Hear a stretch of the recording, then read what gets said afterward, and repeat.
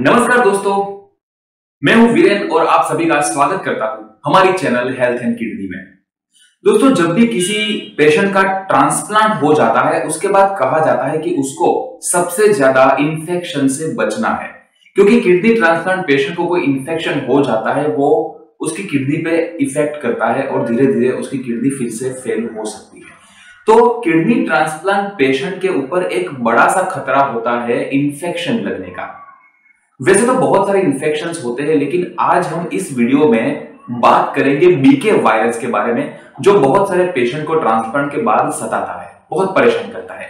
और कुछ किस्सों में बीके वायरस वजह भी बनता है किडनी फेल होने की। तो होता क्या है बीके वायरस उसके बारे में थोड़ा सा हम समझने की कोशिश करते हैं।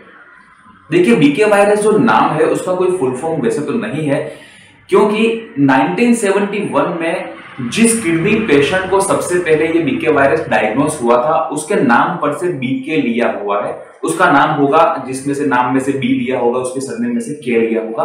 तो इस तरह से बीके वायरस पहचाना जाता है। और अगर उसका पूरा नाम देखे तो बीके पोल्यूमा वायरस ये उसका पूरा नाम है। लेकिन कोई पूरा बोलता नहीं बीके वायरस ही बोलते हैं, क्योंकि वो सबसे पहले 1971 में इस पेशेंट को हुआ था। अब स्टडी में ये पता चला है दोस्तों कि बीके वायरस हर इंसान की बॉडी में होता है। ये एक वायरस है जो हर इंसान की बॉडी में होता है, चाहे उसके पास दो किडनी हो, एक किडनी हो डायलिसिस पे हो या ट्रांसप्लांट पे हो, उसके बॉडी में बीके वायरस होता है, लेकिन वो इनएक्टिव होता है। क्योंकि शरीर की जो इम्यूनिटी होती है, वो इस तरह के बहुत सारे वायरस हमारी बॉडी में होते हैं, उसके सामने लड़ती है ये इम्यूनिटी पावर और इस वायरस को एक्टिवेट नहीं होने देती।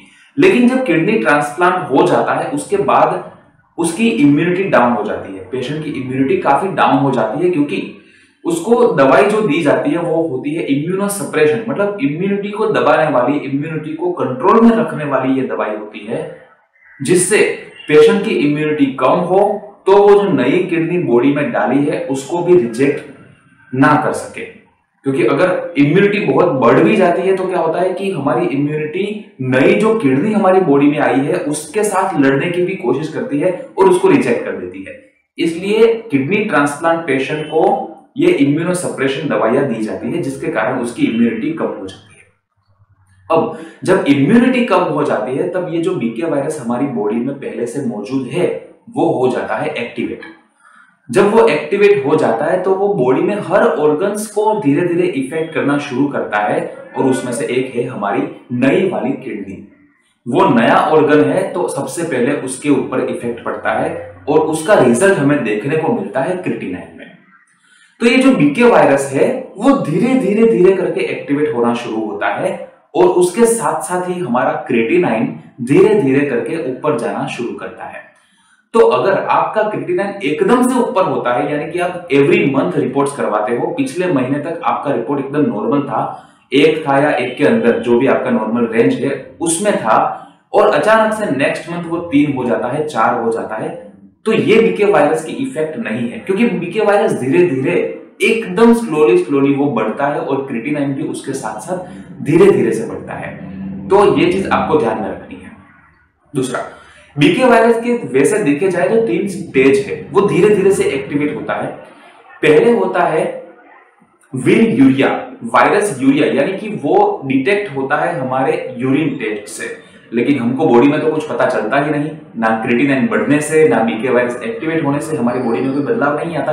तो हम नॉर्मली इसका रिपोर्ट नहीं कर पाते तो हमें पता नहीं चलता।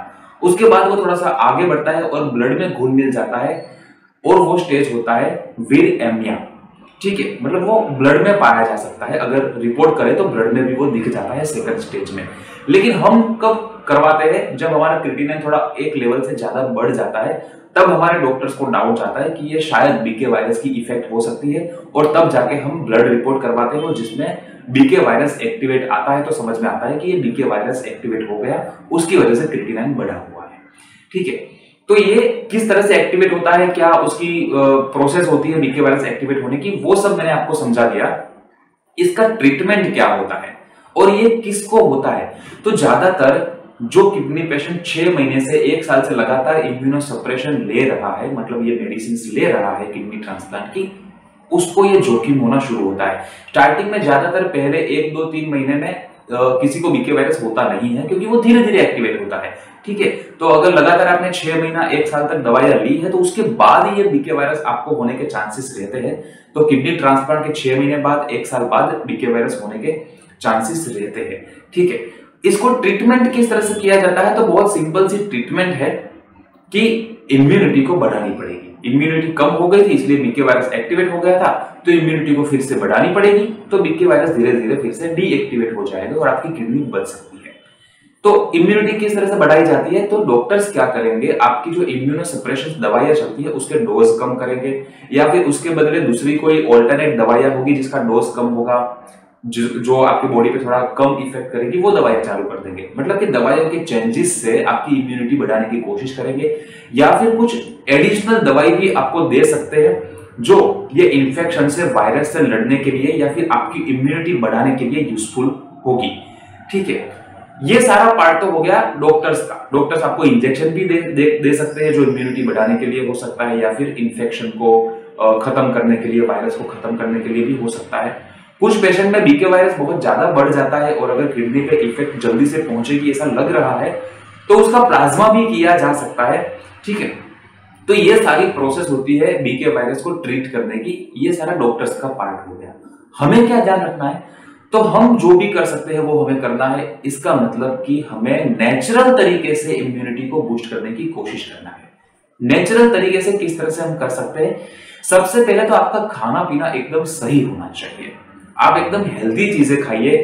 फ्राइड चीज़ें स्वीट है, घी बटर वाली चीज़ें, ये सब बंद कर दिए। मसाले वाली चीज़ें बंद कर दीजिए। सिंपल खाना हेल्दी खाना प्रोटीन वाला खाना लीजिए। गर्मा गर्म ताज़ा खाना आप खाइए। दूसरा, पानी पीना और बढ़ा लीजिए पानी इतनी अच्छी चीज़ है हमारी बॉडी के लिए जो इम्यूनिटी को बढ़ाती है और सभी प्रकार के रोगों से लड़ने की हमें हेल्प करता है।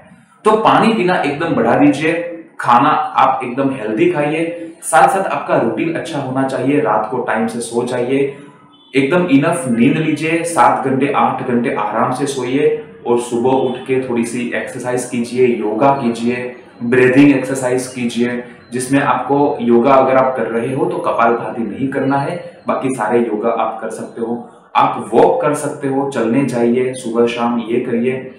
आप इम्यूनिटी को बढ़ाने के लिए हर रात को सोने से पहले गर्म दूध में थोड़ी सी हल्दी डाल के पिए। हल्दी जो चीज़ है, वो एंटी इन्फ्लेशनरी है बैक्टीरिया से लड़ती है वायरस से लड़ने में हमें बहुत ही यूजफुल रहती है। तो रात को सोने से पहले गर्म हल्दी वाला दूध पीने की आदत डालिए। पूरे दिन बहुत सारा पानी पीजिए। बस यही सारी चीज़ें आपको ध्यान में रखनी है और नेचुरल तरीके से इम्यूनिटी बढ़ाने में आपको ध्यान देना है। ठीक है। बीके वायरस कितने टाइम में खत्म हो जाता है?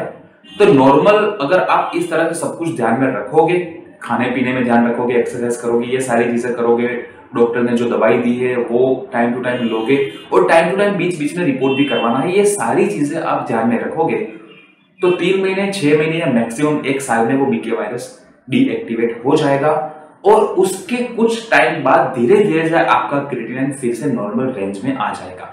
ज़्यादा डरने की बात नहीं है, लेकिन अगर आपको बीके वायरस एक्टिवेट हो गया और आपने कोई कदम नहीं उठाया, आपने डॉक्टर की बात नहीं मानी और आपने एकदम रफ लाइफ आप जी रहे हो, कुछ भी खा रहे हो तो समझ लेना कि ये बीके वायरस आपकी किडनी को फिर से फेल कर सकता है।